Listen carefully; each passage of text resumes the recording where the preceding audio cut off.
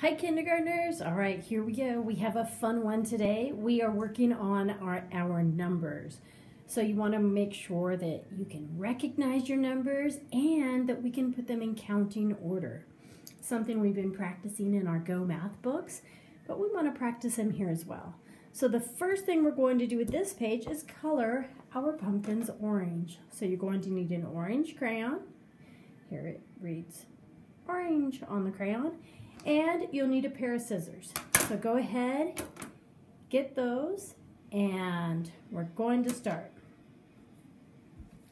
All right, now that you have your crayon, go ahead and color all of your pumpkins. Now you want to use a crayon, not a marker, because the marker, it might cover up the four. So if you do use, if you do decide, you know, ah, I want to use a marker, just make sure you go around the numbers so that we can still see the numbers. So otherwise, you won't be able to put them in counting order.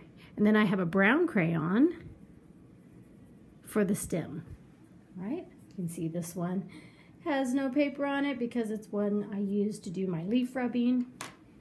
Go ahead and color and pause this video and come back when it's all colored and we will finish.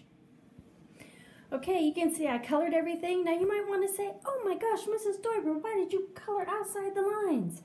Well, I can tell you, I wanted to do it quickly and I knew I was going to be using my scissors and cutting.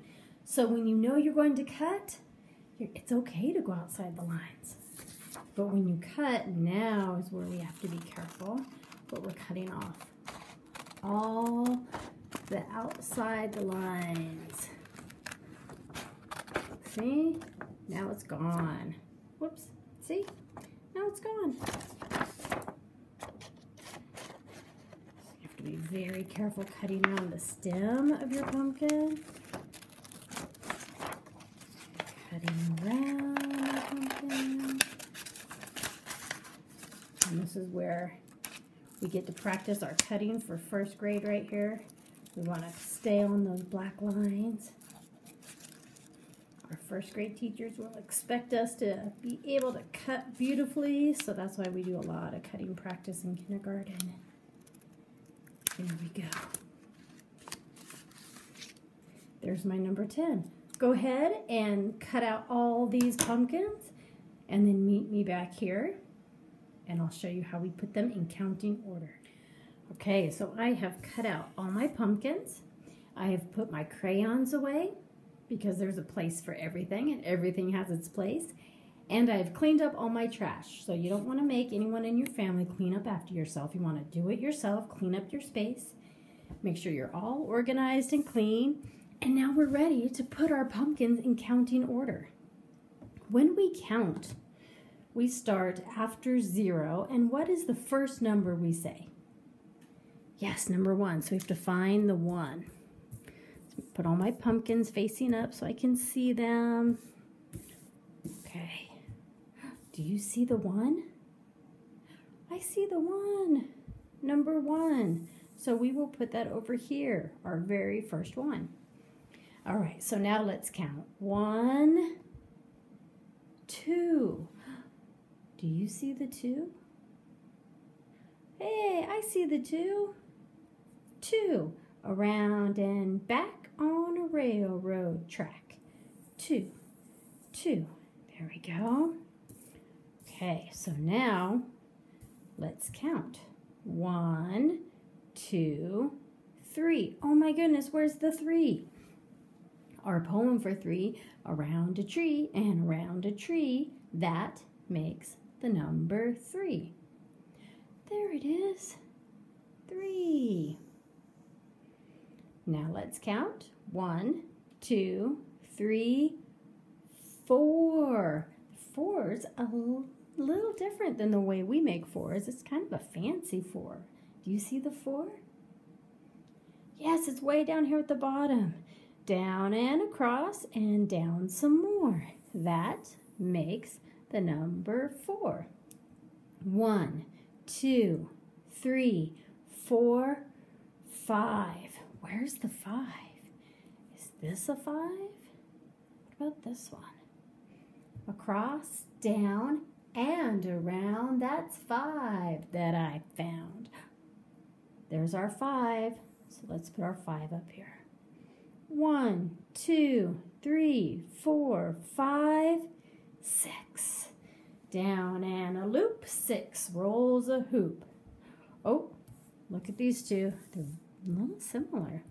Which one is six? Yes, this one. Look at a nine. If I put it upside down, it would be a six. But we don't want our pumpkin upside down. There we go. One, two, three, four, five, six, seven.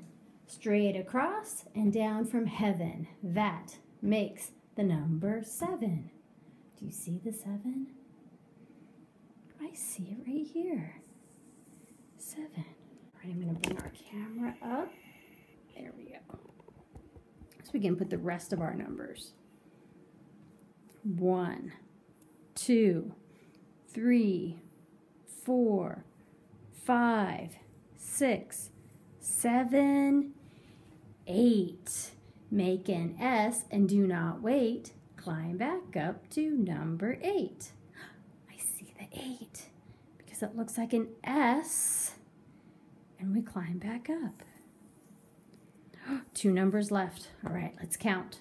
One, two, three, four, five, six, seven, eight, nine. First a loop and then a line. That makes the number nine. Where's our nine? There it is, nine. Last one. Let's count.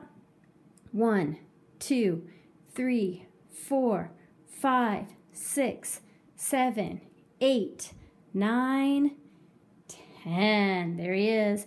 One and a zero. Number 10. He is our hero. There's your number line. After you get yours in order, please take a picture and submit it. If you want, you can also take a video of you counting for me. I would love to hear you count. You just click on video instead of photo and, click and say one, two, three, four, five, six, seven, eight, nine, ten. There we go. All right, have fun with math.